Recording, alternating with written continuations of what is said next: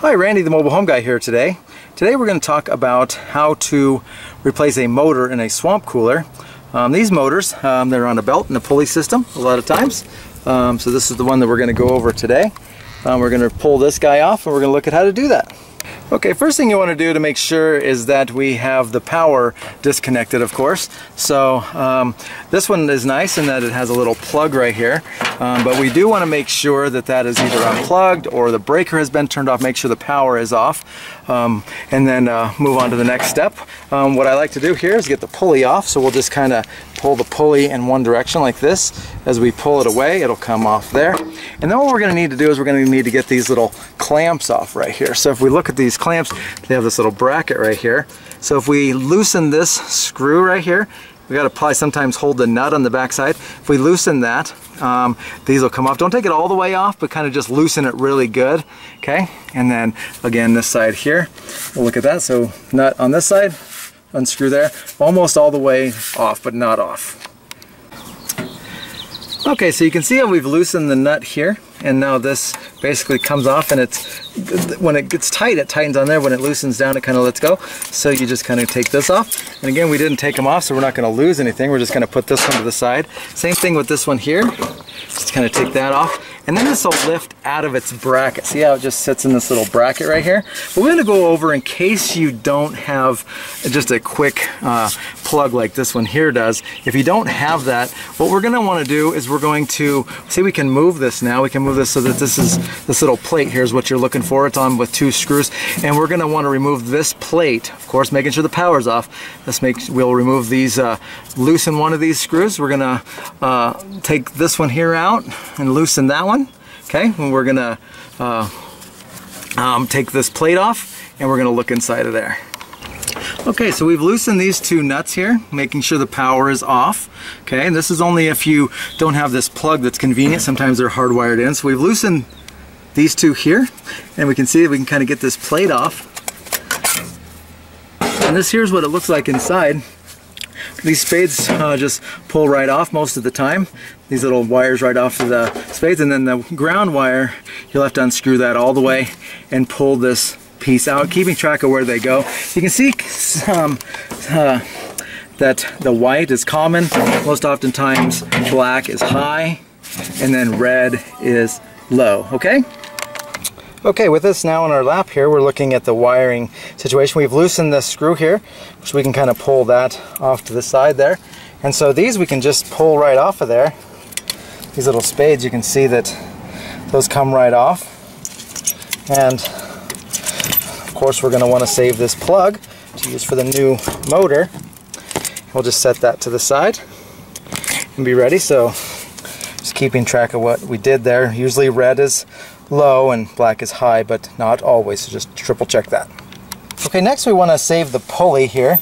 So we want to be able to get this off and we can see that that has a little Allen wrench there. So we're going to use an Allen wrench and loosen that up. Hopefully it comes right off. Sometimes I suggest buying a new pulley because you can't get this off really well. So sometimes it's impossible to get off and having that pulley that maybe you can return to the store if you don't use it, but just to have it, I suggest taking that with you. Okay, so we have loosened the nut. It's a 532 Allen wrench most of the time, and uh, we have been able to get this uh, pulley off here. You want to save these if you can, if it's in good shape. Um, you can see that there's two Allen wrenches on there. Um, one is for to change the diameter of this gap, which changes the speed. So you want to check your uh, manufacturing things for uh, how wide that should be. Um, so try to stay with what you had before. If you have the same motor, try to have the same gap. That's why it's great if you can get these off. Um, sometimes you can uh, kind of hold this really tight and hammer just the center of that out. Um, sometimes that ruins the shaft, but we don't care because it's a bad motor. So uh, there's a, a, motor. I use this little tool here to get mine off. I use this thing, and I've had it my uh, video a few times. I should get paid for advertising this thing, but it great works great. Um, there's a few little fittings with that. It kind of pops them right off. But uh, hitting it with the hammer in the center with a little die in the center, um, kind of hold that pulley, hit in the center, not on the edges of that shaft. Otherwise, it'll be impossible to get out. Sometimes works. A lot of penetrating oil I haven't found works real well on these things, but uh, uh, good luck getting that off and uh, saving that, but uh, hopefully you can.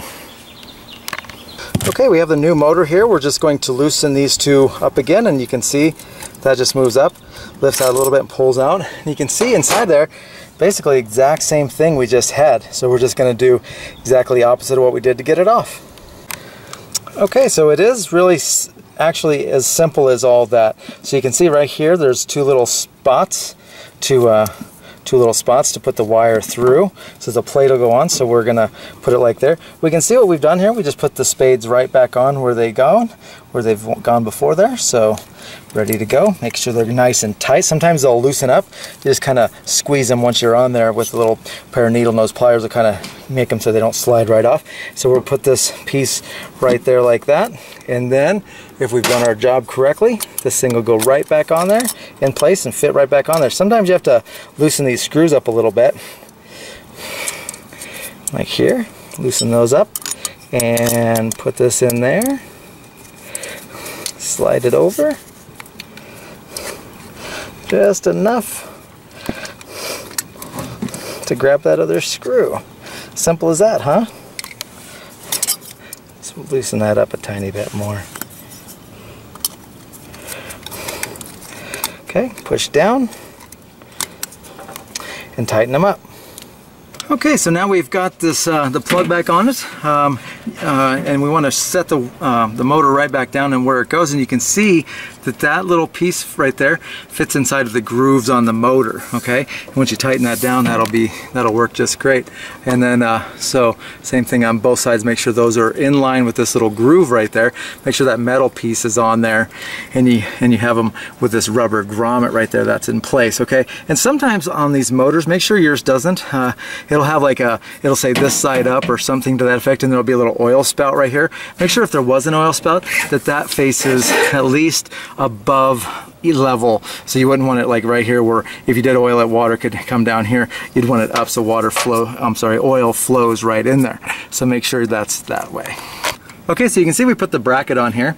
Um, so sometimes if it's being a bear, it can't get on there. I like to make sure that the nut is all the way at the end of the bolt there. That kind of helps and gives us about as wide a space as we can. And then we're just gonna tighten this down. Um, you'll know it's really tight when you can't move the motor. See, like right now, I could move the motor pretty straightforward. We're not gonna uh, do it all the way. You don't have to tighten those all the way down, but make sure it's good and solid and not movable. Okay, so now we're going to put on the pulley, and we can see that there's a flat part on the shaft of the motor. Um, we're going to want to make sure that the bolt that holds it on there, on the, the pulley onto the shaft, is on that flat side. Another very important um, thing we're going to want to make sure is that this pulley up here lines up with that pulley down there. So basically we want to be straight up and down with that. So when you're looking straight at it, then we want that to go straight up and down, not kind of crooked so that the belt runs crooked, okay? And then we're going to tighten it on. We're going to get that really pretty cinched down pretty tight there. And we don't want to let that loosen up on us. Okay, and once that's on there nice and tight, we're going to want to put the belt on there. So what I do is I'll start at the top. I'll put the belt on there like that and then I'll come down to the bottom here pull it tight and I'll get it on the wheel and then I'll spin the wheel. Now these things shouldn't be so tight that you can't even get them to turn. So there needs to be they say um, an inch and a half of play there. Some of them are different, but uh, we want to be able to push that with about five pounds of pressure, about an inch and a half.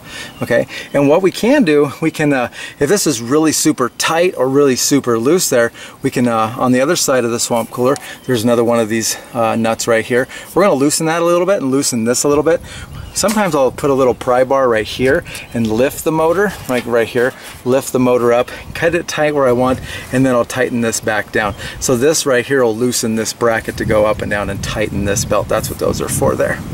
Okay, there we go. One more installed swamp cooler motor. Really super straightforward. I would say tackling this isn't gonna be too hard for you. Um, just follow the steps. It's almost like kind of reverse engineering, take it off just like you put it back on. Uh,